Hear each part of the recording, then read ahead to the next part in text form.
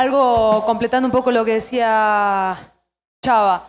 Eh, yo no veo esto que estamos hablando como una presidencia, sino como una secretaría y es un servicio que estamos haciendo. Entonces, no me parece que, que sea una, una- una postura jerárquica, sino todo lo contrario. O sea, una, una persona que esté tratando de, de movilizar el trabajo de los capítulos está al servicio de los capítulos. No es una posición de supervisión. Sí, totalmente, estoy de acuerdo.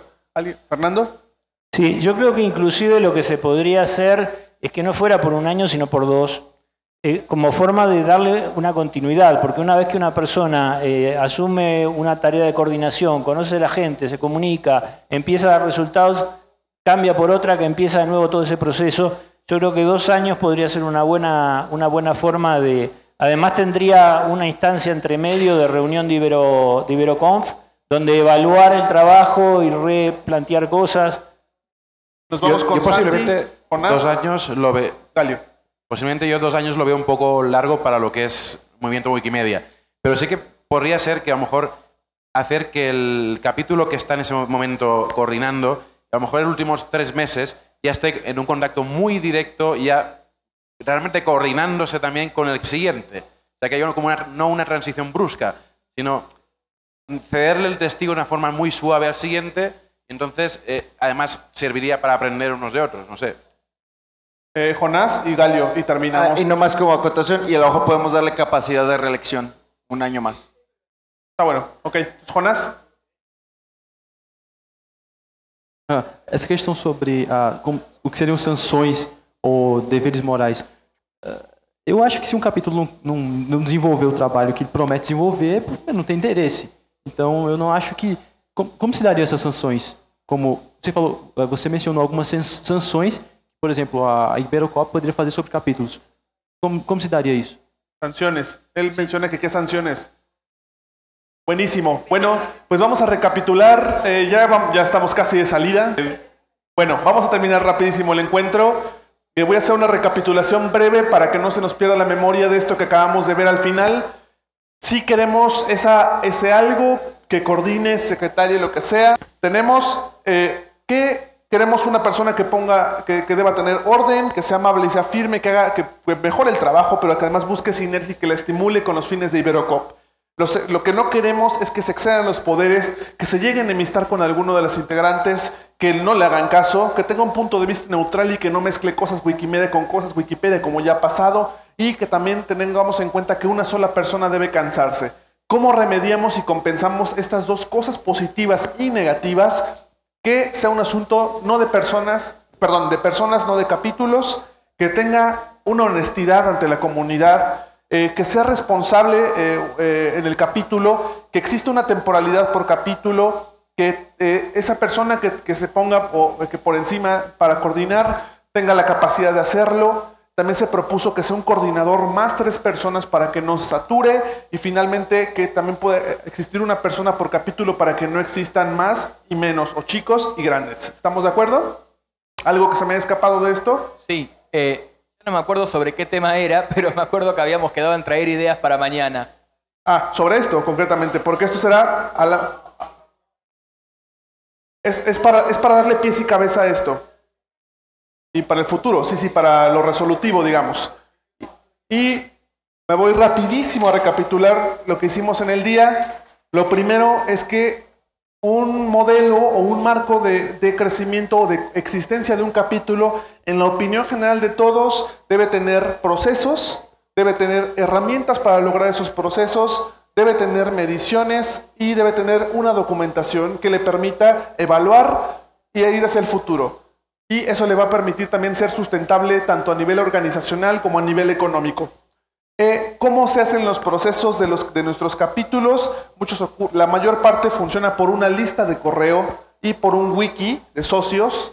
También funciona un café de socios, Skype y WhatsApp, eh, el IRC, eh, cara a cara y redes sociales. Uno de los mayores problemas que existen en los procesos de Iberocop son los trolls, gente que llega nada más a vandalizar, pero también ocurre que la información sensible no debe ser pública, que existe el sentimiento que alguien más responderá. Esto es en esencia las fallas de estos procesos. Eh, definimos también qué es crecimiento para todos. Ah, bueno, se pegaron algunos, los regresaremos a su lugar, pero en esencia, eh, para, todos nosotros la idea de crecimiento por encima de todo está en el cumplimiento de la misión de la, de la misión Wikimedia, para todos por encima, eh, el crecer es contribuir a esa misión. Eh, algún el crecimiento también es bienestar, también es superar crisis, es el saber si podemos o no hacer las cosas, superar el estrés que generan nuestras actividades. Eh, también crecer es evaluar, poder desarrollar una idea, ser más transparentes, ser más visibles y aprender a trabajar mejor. ¿Cómo se logra ese crecimiento? A través de la cohesión que existe entre los propios chapters de, de Wikimedia que estamos reunidos aquí, a, través de una estabilidad después de las evaluaciones de los errores y los aciertos, también por la previsión y por la certeza de que podemos lograr algo que nos proponemos. Eh, también esto tiene que ver eh, con la oposición entre crecimiento y desarrollo, porque un desarrollo es un crecimiento con bases sólidas. En cuanto a la gestión, eh, la, experiencia que puede aportar, eh, que se aportó el día de hoy, es que se deben canalizar esfuerzos en un capítulo, es decir, la gente nueva, con más la gente nueva, no puede cumplir todas las tareas de un capítulo. Se tiene que canalizar los esfuerzos derivados de las competencias y habilidades de cada uno de los integrantes y de los que van llegando a nuestras organizaciones. También no esperemos que todo el mundo participe. También alguien debe hacer las tortillas, que esto es eh, las tareas complicadas, eh, contabilidad, finanzas administración. También se comentó que siempre va a haber alguien que tenga competencias para hacer estas tareas que a muchos suenan tediosas. Eh, también mm, reducir las tareas de una sola persona. Hay muchos capítulos que en una sola persona concentran muchas actividades y tienen personas agotadas.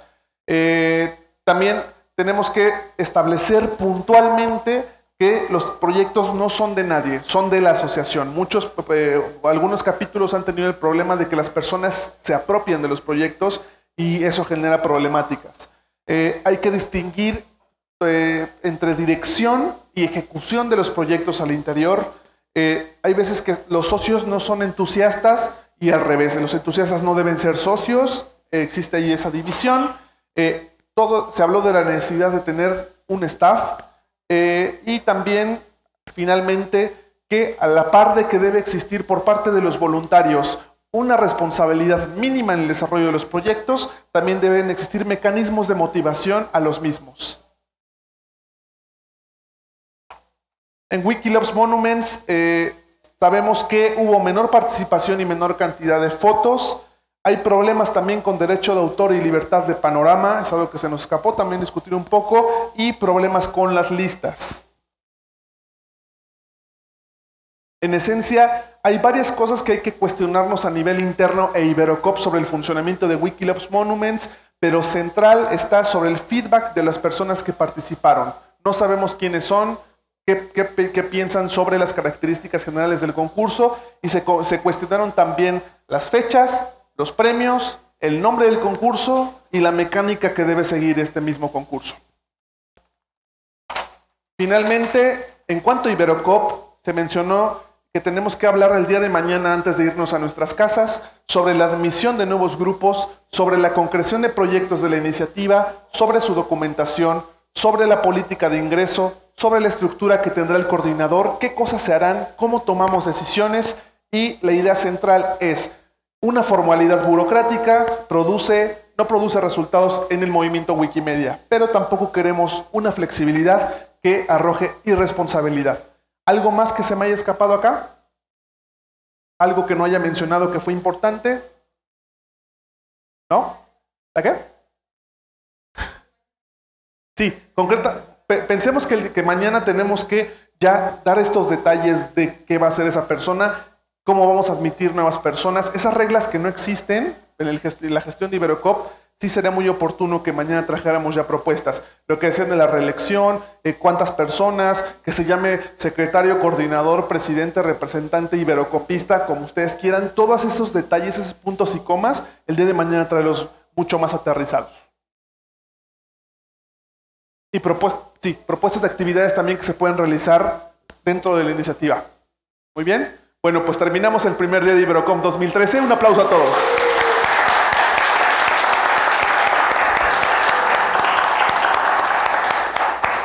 Y ya tiene algo que decir.